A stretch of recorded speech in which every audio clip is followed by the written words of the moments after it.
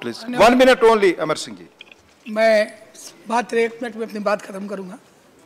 मैं माननीय वित्त मंत्री जी को माननीय वित्त राज्य मंत्री जी को आपके माध्यम से इस बिल के को लाने के लिए बहुत बहुत हार्दिक शुभकामनाएँ बधाई देता हूँ। मेरे सिर्फ़ दो बिंदु हैं।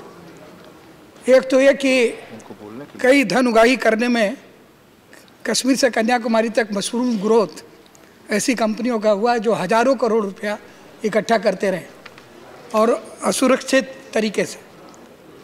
उनमें से कईयों की योजना है कि वह इस बिल के आने की आशंका के कारण कोऑपरेटिव सोसाइटी का रजिस्ट्रेशन करके उसके माध्यम से स्वरूप बदल करके धन उगाही करें। इस आशंका को क्या इसके बारे में सरकार को कोई संज्ञान है या नहीं? और दूसरा, स्पोर्ट्स के सिनेमा के बड़े बड़े सेलिब्रिटी, जो गुणवत्ता के आधार पर नहीं, मोटी फ़ीस के आधार पर, कभी किसी प्रदेश में, कभी किसी प्रदेश में मैं आरोप नहीं लगा रहा हूँ। पिछले दिनों मैं केरल के त्रिवेंद्रम में था। बहुत अच्छी कंपनी होगी। आजकल उसका बड़ा प्रचार है मधुत फिनांस हाथी के साथ देश के एक बहुत बड़े महानायक की फ़ोटो दिखाई दी। मैं नाम किसी का नहीं लूँगा। और वो महानायक की फ़ोटो उत्तर प्रदेश के किसी बड़ी कंपनी में दिखाई देती थी। तो निश्चित रूप से गुणवत्ता आधार नहीं है।